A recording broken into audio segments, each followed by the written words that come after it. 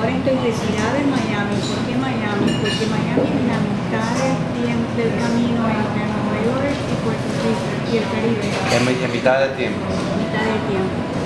Entonces, eh, soy poeta, narradora, eh, ensayista, he ganado varios premios importantes este, y estoy encantada de estar aquí. Bueno, encantada, gracias Lourdes. Aquí tenemos a